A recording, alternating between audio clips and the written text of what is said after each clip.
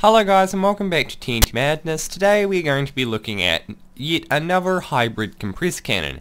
And this is because I have recently been using the hybrid compressed cannon on my server and I have grown to love it. And I just realized that there are a few things that are wrong with it, or not necessarily wrong with it, but that could be more effective or more efficient. So the, there's a very general one that I used way back when, and then I made an absolutely tiny one, which was good for most situations, but it wasn't the most practical for all general purposes. So in this video I have decided to make uh, one that I think can be used in essentially any situation where you'd need to use a hybrid compressed cannon, and then has a few bells and whistles of its own. So the main thing that makes this thing stand out from the other hybrid compressed cannons is the fact that it can stack two sand at once, which is great because it means if you are using it as a sand stacker and you're only stacking like 10 sand high, it means you'll do it in half the time, and also because you're stacking two sand, it means you can hybrid anywhere on the wall instead of just where you're aiming at, which means that if there is, if you have to fire slightly lower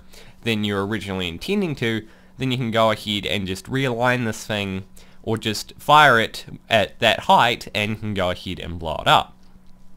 So because of all this, this makes it a great all-around cannon for just, just going through like 5 or 10 walls and just destroying some pretty small bases that don't really have, that aren't really that tall, that go, don't go up that high. So I think this is in my opinion, just one of the good, one of the great cannons that have been made. So, also, one other thing is that this thing is only 5 wide and it is really quite short. So it's a very compact cannon and it is very, quite resource friendly as it doesn't use the normal comparator clock, it just uses a redstone torch burnout. But anyway, let's have a look at this thing firing. So what we have here is the wall and our cannon and a moderately small gap between it. This has got to be pretty much just a chunk wide. So what we have here is we've got this little area here which is where we're going to be sand stacking on so that's where it's going to start. So pretend that's like the bottom of the wall and then we're going to be using this cannon here.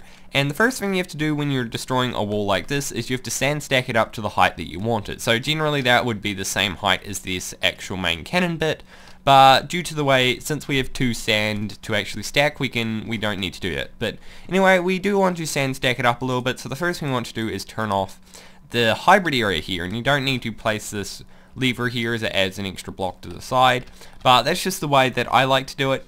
And what this does is, all this does is it turns off the actual hybrid dispensers here that will fire out TNT, which will be your hybrid TNT because that will stop it from blowing up. So when you're sand stacking, you do not want that on. So anyway, if we go back here and press the button and this fires off down the back here, then the sand should fire out and hopefully sand stack. And as we can see, two, two sand actually stacked on each other, but this thing is moderately variable in how it actually sand stacks, just because of the way how sand stacking mechanics actually work. So there's a good example of how it didn't stack, and that's just because of the way I have the cannon set up now. So there are a few different ways that you can actually solve this problem, and the first one is by having a more TNT or a longer barrel. And the reason for that is because the sand is stacking because it is one block higher than the other, and since the TNT is pushing them both, pushing this one with more power than this one, it actually can create an arc over longer ranges, and when you're going in just even moderate distances, you might want a longer barrel as sometimes if the sand is too far off to the left or too far off to the right, then it won't stack. However, this isn't really an issue as it only happens very, very slim and you probably won't have this issue that often anyway. So anyway, let's go ahead and test the hybrid of this thing. So if we turn this lever off, this will activate the hybrid and we press this button, this back 10 will fire all the TNT will fire in the main barrel there and then it should fire out here and then blow up this giant area as you can see like so. The TNT actually fired everywhere but what happens is the first TNT hits the ground which stacks it but because the TNT is technically inside the sand it will it doesn't actually stay inside the main sand because it's falling so it lands on top of it and then the red sand then lands on top of that, and then all your TNT will be inside the red sand. So then that will cause it to be able to hybrid. This is the same way that one-shots work because the TNT will land on top of the one-shot sand, and then your actual red sand that you fire after that will actually cause it to hybrid. So it has the same mechanics that you'd use in bigger cannons. So this allows it to be very, very powerful as, as you can hybrid more than one. So I've go ahead and press the button again, this should hit the same area and actually hybrid once again as we can see like so. So this essentially just means you can hybrid at any height that you want to and the only really limiting factor you have is how long it takes for this TNT to actually fall because if it explodes earlier than the sand lands then it's not going to blow up. But however this essentially means you can make giant holes in walls that go from up here down by about 20-30 blocks with no issues at all, which is something that not many cannons can do, especially not of this size. So anyway, now that we've done firing it, let's actually have a look at the redstone. And one thing that you're probably wondering is how much range does this have? And it does have about three chunks before it starts to fall off. And what I mean by that is it has a slight arc. So you can fire this up to like 10 chunks, but it will actually arc slightly down, so you have to place it like two or three blocks higher than you actually would before, and you're going to need a slightly longer barrel so the sand doesn't actually fire too far to the left or to the right. So it does actually have quite a long range, and it is very viable at those longer ranges anyway. But anyway, now onto the redstone. So now on to the redstone. So there are a few parts to this cannon, mostly being the propellant, the hybrid TNT, the sand stacking, or yeah, the sand stacking part, and then just the barrel. So the main part is the actual propellant, and this is a compression system, hence the name hybrid compressed cannon, because it's just a hybrid cannon with a compressor system. So what a compression system does is it fires your normal propellant TNT, but it has two parts. You've got this back bit here, and then this main bit here. So what this back bit does here is it will fire free TNT into just one small clump, and then fire all the rest of your TNT, which in this case is 20, along here. So what will happen is this will fire off all these 10 dispensers or 20 will fire off one tick after this one and what that means is when it fires off and at the end of it is that these will fire off and then these will fire off. So what will happen is this TNT will fire this TNT will blow up, but before that happens, this will fire off one tick beforehand, which will push all of the TNT all the way up to this block here because ladders stop the prime TNT for moving as it's 0.1 of a block wide and TNT is 0.98 blocks wide. So it stops that in its tracks and it pushes all the TNT up here. And the reason this is important is the closer the TNT is to your actual entities that are firing, being the falling sand entity and the prime TNT, it fires it further. So it makes it more efficient and more effective for making a cannon like this. This is why you see compression systems and essentially all cannons as it is a lot more efficient to do it that way. So that's the main module and probably one of the most simplest parts of this cannon and this is just a generally a pretty simple cannon anyway. So on the left side what we have is the hybrid TNT mechanism. So all that happens is after that goes off this redstone torch will turn off which will turn off all of these repeaters which will then go ahead and turn on this redstone torch and turn off this redstone which will activate what is called a redstone torch clock or a redstone burnout clock because what happens is the redstone torch will turn off and on really fast. It'll create a one tick pulse for 10 ticks, so it'll either it'll activate the TNT between 5 and 10 times per second, because the stone button activates for 10 ticks and a wooden one activates 15, so since it's activating for 10 ticks, it can activate between 5 and 10 times in 10 ticks because it's firing every one tick. So that essentially means that this can fire up between 10 and 20 TNT, that will vary between a second of blowing up after it fires at the wall, which means you essentially get a giant clump of TNT that you can use for hybriding. So on the right side what we have is the actual sand stacking mechanism. And if you didn't know, TNT it takes 40 ticks to actually blow up, so what we need is we need this sand to actually push into the main barrel one tick before this TNT actually explodes. So that way it fires at the highest point and that way it can stay on top of the barrel that it is in. So that way this will fire one block above this one.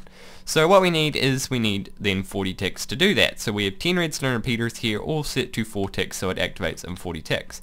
And the reason we need 40 instead of instead of 39 is because this this repeater here uses one tick. So this will act to use it, so it'll make it fire one tick afterwards, if that makes any sense at all.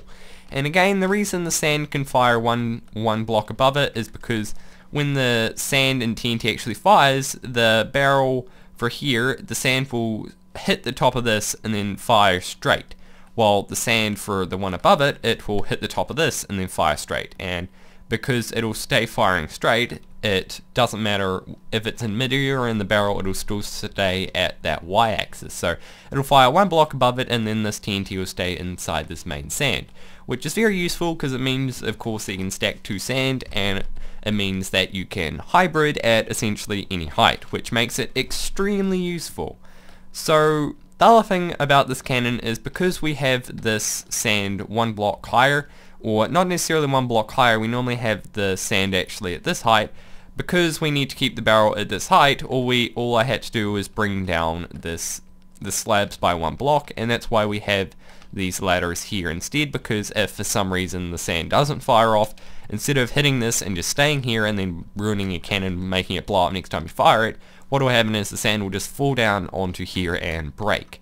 So that's that. So anyway, now on to the tutorial. So now on to the tutorial. What you're going to need is a 5x12 area as well as some building blocks, some slabs, 25 dispensers, 18 redstone, 16 redstone repeaters, 2 redstone torches, 2 pistons, 4 ladders, a water source block, and of course a button, preferably a stone button. So what this represents, this gold bit represents the center of your cannon or where your actual barrel bit is from the propellant to the barrel and how where you're going to be firing all your TNT. And the glass represents places where there are no blocks at all. So if you need the extra space for some reason, then you can use that. However, in this place here, this is where we are going to be placing the button so it doesn't have to go off the edge for some odd reason.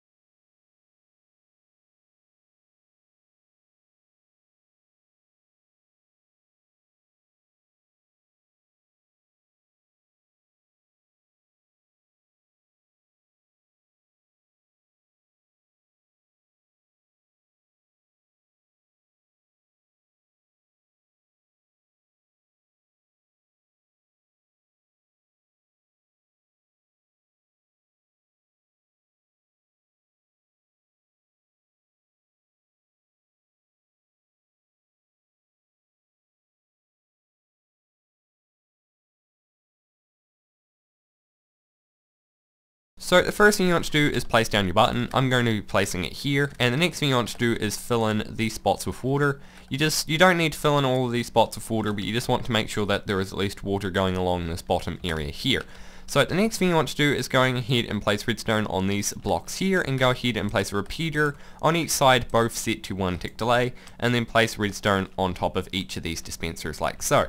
Next thing you want to do is place a redstone torch here and then 4 blocks along here like so with redstone repeaters all set to 4 ticks delay and then go along to the end here and place a block with a redstone torch on the end and a block on top.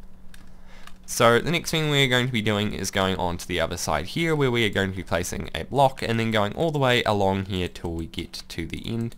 That was actually a mistake. So what you want to go ahead and do is place a block down there and go ahead and place 10 redstone repeaters set to 4 ticks delay each because we're going to need a total of 10 redstone repeaters so we can get all the way to the end and place down a redstone block red piece of redstone here which what will happen is you have all these 10 repeaters going all the way along here it'll activate this block here and if you don't know this redstone will power this block and when a block is powered it powers all blocks around it so that will go ahead and power this piston and this piston here which will then both push and activate push the sand into the barrel. So the final thing you want to do is you want to go ahead and place sand up here as high as you want as it fires two per shot and the next thing you want to do that I'd recommend but you don't have to is place some sort of lever along here so that way you can toggle your actual hybrid TNT and if you want it to be flush inside the actual 5 area then you can either place the the lever on top there or along here like so. And the final thing you want to do is go ahead and fill each dispenser with TNT. However, with this very front one at the end here, you're going to want to place 5 to 10 times the amount of TNT that you place in the rest of it, as it will fire 5 to 10 times the amount of TNT as it will be firing all the way out into the wall and it's activated 5 to 10 times per shot while all the yellow dispensers are only activated by 1. So now you've gone ahead and made yourself a really fantastic hybrid compressed cannon. So have fun raiding and goodbye from TNT Madness.